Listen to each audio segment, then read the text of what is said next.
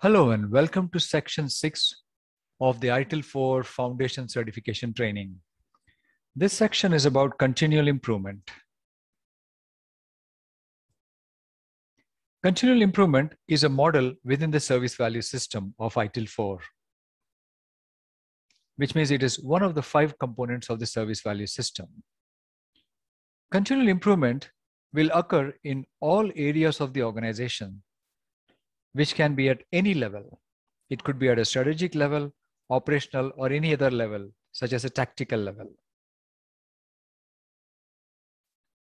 It is essential that every person who is involved in a service contributes to the improvement. Improvement needs to be continual rather than continuous.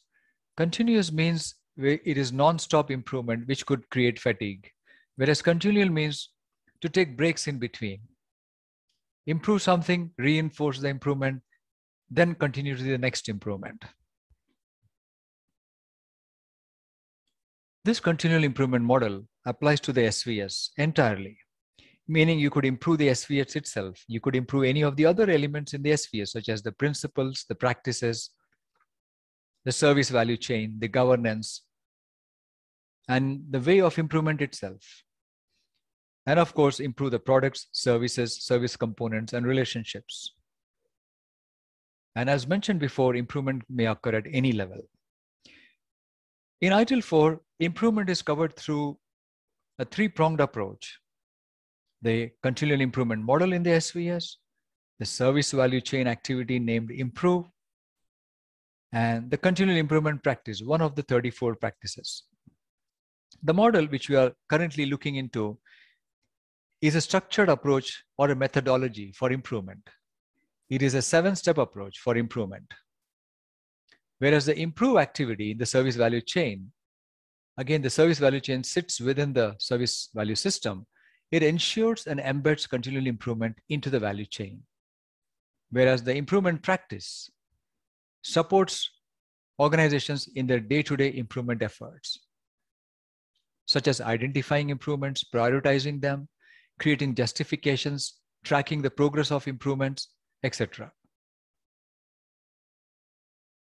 So what is this improvement model in the SVS? It is a high level guide. An organization may use this or modify this a little bit or may use their own approach. But this is what is recommended by ITIL or suggested.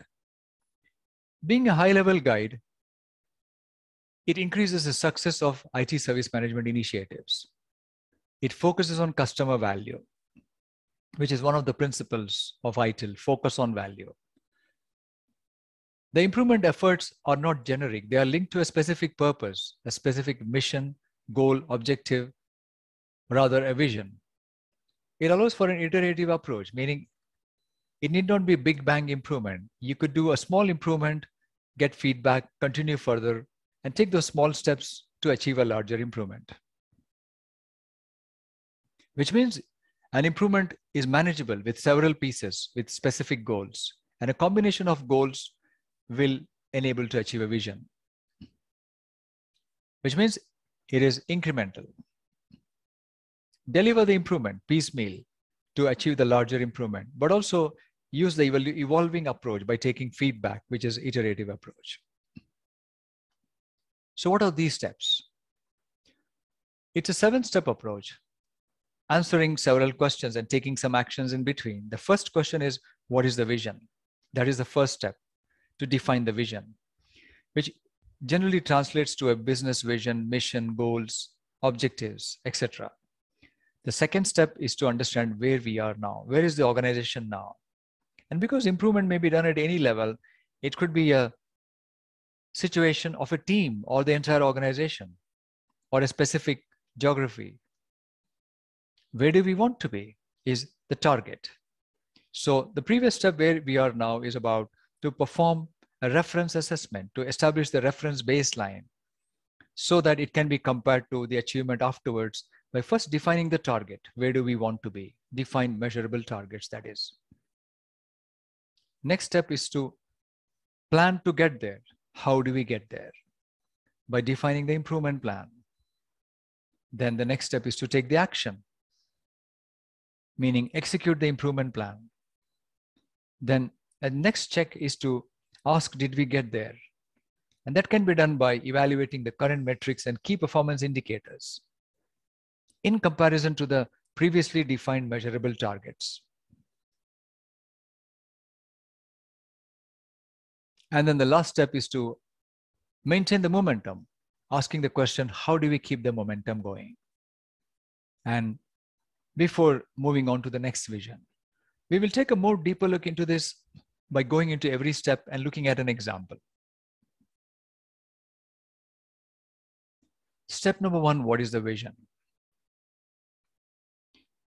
Any improvement initiative, which is generally based on comparing with something historical,